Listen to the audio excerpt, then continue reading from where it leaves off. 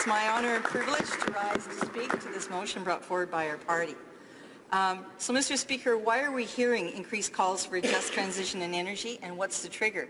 As my colleague has clearly stated, this transition is being driven by a rapid pace shift in energy investments away from non-renewable power to renewable power sources. IRENA, which I'm happy to hear Canada after three years has finally joined again, reports that 60% of all new power generation capacity deployed worldwide has been in renewable power. So that's the direction. While investments have slightly fallen off uh, recently, 263 billion US dollars in 2016 were invested in, in renewable capacity. And the capacity continues to build and in fact we need lesser investments because the costs are declining and policy shifts towards uh, cleaner energy are actually driving that. IRENA reports that the greatest investor in renewable power has been the East Asia Pacific, with China the main driver, as well as Japan, South Korea, and Israel. Canada has also committed to deep carbon cuts, along with other nations, to address climate change and to reduce harmful pollution from burning fossil fuels. Along with the G20 partners have promised end perverse subsidies to fossil fuels, but clearly failing to deliver with the recent billions invested in a pipeline. Some provinces have already committed to substantial percentage renewable energy generation. For example, Alberta to 30% and Saskatchewan to 50% by 2030, which will mean a lot of deployment of renewable energy. American think tanks are determining that a clean energy portfolio combining energy efficiency, reduced demand, storage, and renewables is the lowest cost option to retire thermoelectric and even better cost-wise than natural gas.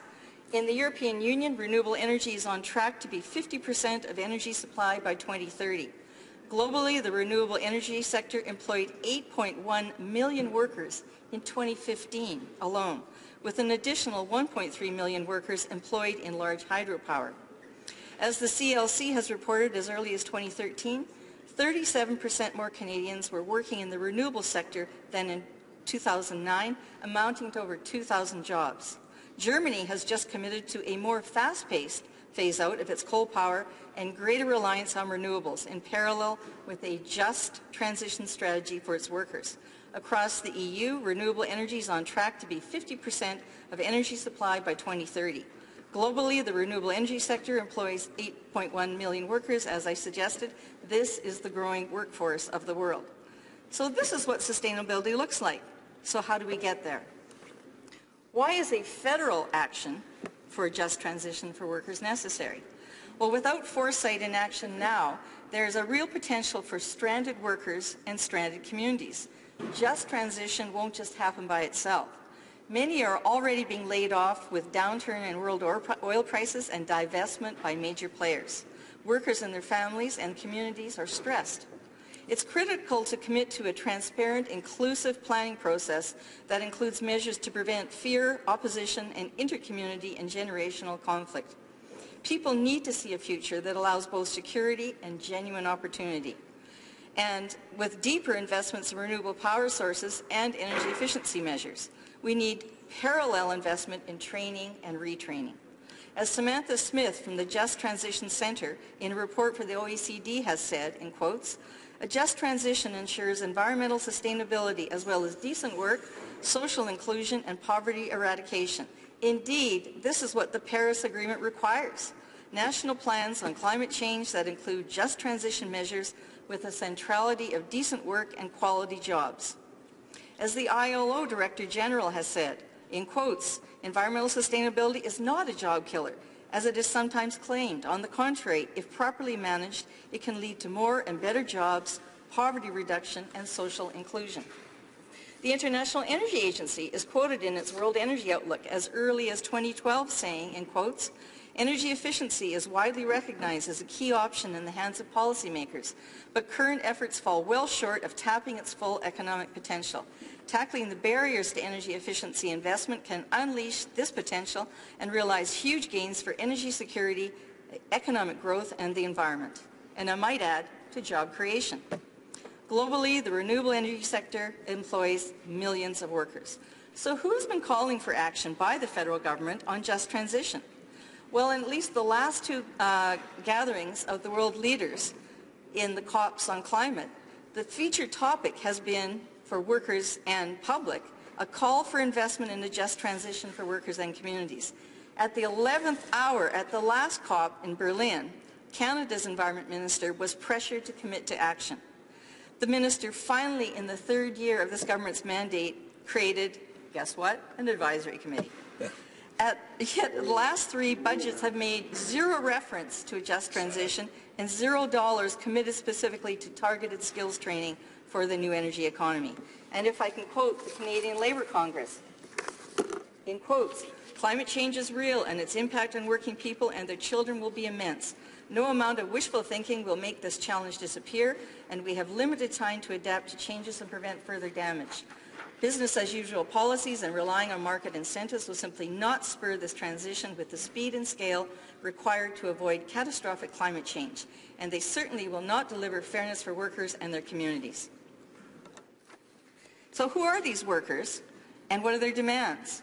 Well, Mr. Speaker, they're oil field and gas workers. They're coal field workers. They work in coal-fired power plants. They are seeking job security in this evolving clean energy economy. And if I can just share a few of those stories, which have been compiled by Energy and Earth. This is from Dee Lee, a unionized trades worker, in quotes, my work history involves field-level oil extraction jobs on drilling rigs and other field services for those drilling rigs. I've become an electrician so I can participate in the world's energy revolution. Lliam Hildebrand, Boilermaker, in quotes, I've been a Boilermaker for over a decade and have proudly built a number of renewable energy projects with no retraining required. Give us the blueprints in steel and we will help Canada address climate change with our industrial trade skills. Mr. Speaker, these workers are demanding federal action, but not, they are not just sitting back waiting for governments to act. Iron and Earth, oil and gas workers partnered with members of the Louis Bull tribe of the Maskwacis Nation in Alberta to train workers to install rooftop panels. Their goal is to upskill over thousand oil, gas and coal workers as well as Indigenous community members as solar specialists. We've seen similar uh, successes in T'Sou-ke First Nation and other Indigenous communities. Iron and Earth, in collaboration with Energy Futures Lab, Pembina Institute, and CanGEA and others, have issued a workers' climate plan, a blueprint for sustainable jobs and economy, and have issued a detailed plan calling on this federal government to invest in, to revise the Pan-Canadian climate strategy to address workers' needs, to act on the union's calls for a green economy and skills survey. And I note that Eco-Canada, that has existed for decades, financed at the federal level has been doing market analyses on environmental jobs, and they would be perfect to lead this work. They want research skills gaps filled. They want focused short-term training programs. They want a workplace training fund. Um, they want energy manufacturing market analyses. They want support for incubator programs tailored to collaboration between contractors, developers, and unions seeking renewable solutions, like the Energy Futures Lab based in Calgary. Their concerns are that other nations will fill the void if Canada doesn't step up to the plate and finance this retraining. All of Canada's unions have shown the initiative and the willingness to work forward. So can the federal government at least finally release their uh, regulations to speed up the shutdown of coal-fired power? And can they please release now funds to feed this, this workers' fund that can transition them to the clean energy economy? Questions and comments. Questions et commentaires. The honourable member for Winnipeg North. Thank you, Mr. Speaker. I believe the government has recognized the importance of uh, changing over to a, a, greener uh, economy and energy. Um, and we've seen that in terms of uh, budget announcements by uh, indications from uh, both the Minister of Natural Resources and uh, the Parliamentary Secretary and other members where we've highlighted many of the things, actions that the government has done in regards to that transition. What is a bit surprising and somewhat disappointing is that the, the NDP, at least here in Ottawa, have made the decision that they are, it's, pipelines are an absolute total no-go. Yet you have, for example, the Premier of Alberta, who is fighting for those union jobs and many others uh, to protect uh, by having that pipeline extension.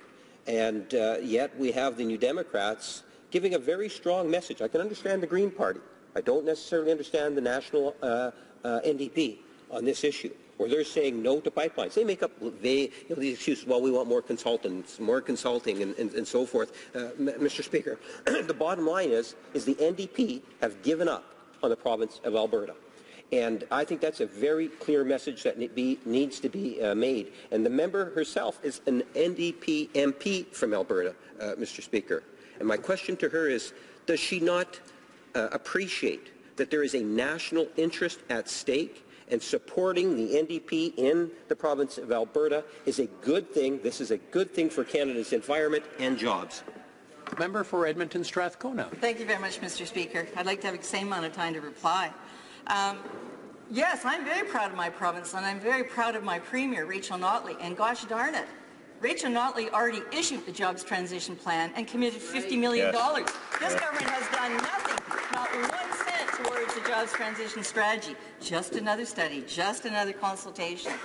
Absolutely want to provide jobs for the future. I could read off here a hundred quotes. I could read off a hundred quotes from oil field, coal and gas workers. They want retraining so that when the new economy comes, what happens after that pipeline is built, if built? Then what? Where are they going to work? They are begging this government to invest in the retraining.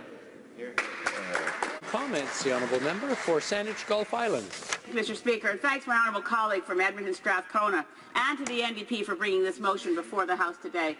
My question to the member for Edmonton Strathcona, given her long engagement in the climate issue, and we recognize we were together at the Paris negotiations, we were together in the disaster in Copenhagen. We know that climate action requires rapid reduction in fossil fuel emissions or we will go above the Paris target of 1.5 degrees.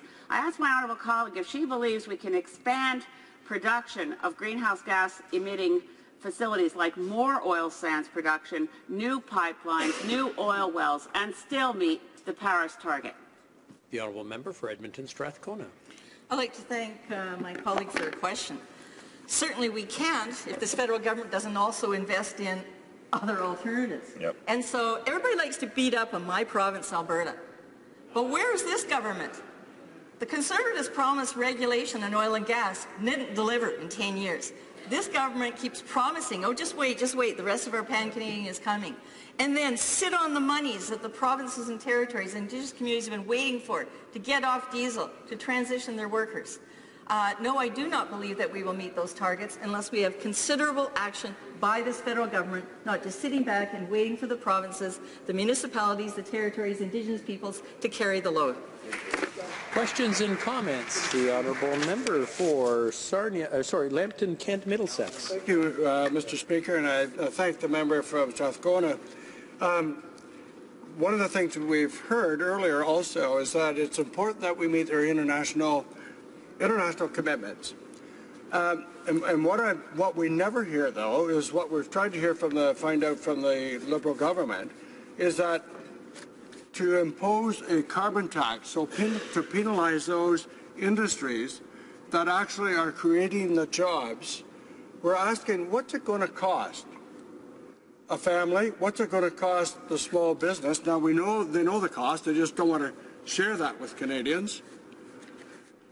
But just taking a hypothetical case of well, we just need to improve without having any facts about one, what the cost will be, and two, if there is actually, what are, what are the degrees of environmental increase or improvement that will happen? And so knowing that Canada is such a small producer of greenhouse gases, I'm wondering, does the member actually have the numbers of what it's going to cost and what the benefits are in terms of its drop in terms of greenhouse gases? Member for Edmonton Strathcona in 30 seconds or less. Thank you, Mr. Speaker. You know, Mr. Speaker, I find it really bizarre, this fixation of the Conservative Party on the carbon tax. What was the first jurisdiction in Canada to put a price on carbon? Alberta. Under a Conservative government, working closely with the oil and gas sector.